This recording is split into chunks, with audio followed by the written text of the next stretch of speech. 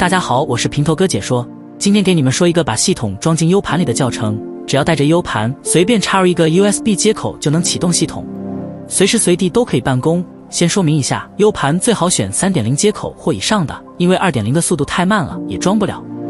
当然，如果你有移动固态硬盘更好，那个速度快，空间最少 128G。空间太小的话，装好体验也不会好。为一个3.0接口的移动硬盘作为演示，先插入你的移动硬盘或 U 盘。打开 Rufus 写盘工具。今天用到的系统是 Windows 十超级精简版。如果这里没有识别你的移动硬盘，不要急，打勾显示 USB 外置硬盘就可以。如果你的是 U 盘，就不需要打勾。看到没有？立马识别出来了。引导类型选择打开，选择下载好的系统镜像。镜像选项这里打开，选择 Windows to Go，其他的默认即可。开始之前选择一个版本，根据自己的需要来选择。然后点击 OK，会跳出提示让你备份 U 盘资料，不然会被格式化清空。接着开始自动把系统写入移动硬盘，速度取决于你硬盘的速度。我这个估计需要十五分钟左右，如果你的是移动固态硬盘，只需要三四分钟。直到这里显示准备就绪就算完成，此时我们可以关闭软件。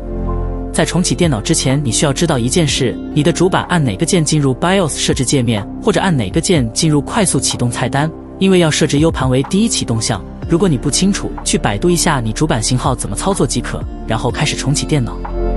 以我微星主板为例，重启的过程中，连续按 Del 键进入主板界面。进来后点击 Settings，然后点击安全，接着点击安全引导。把这个安全启动禁止掉，因为装在 U 盘必须要禁止。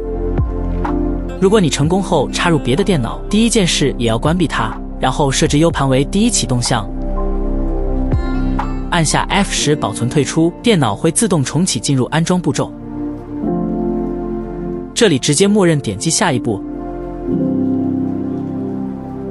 这里打勾在下一步，然后就来到这里了。此时只需要等待几分钟就可以。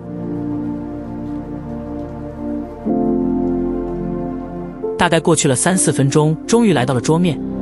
以后如果你出差或者有其他需求的时候，只要随身携带你这个 U 盘或者移动硬盘，插入别的主机上就能操作你的系统。前提是记得关闭安全启动，随时随地在哪里都可以办公。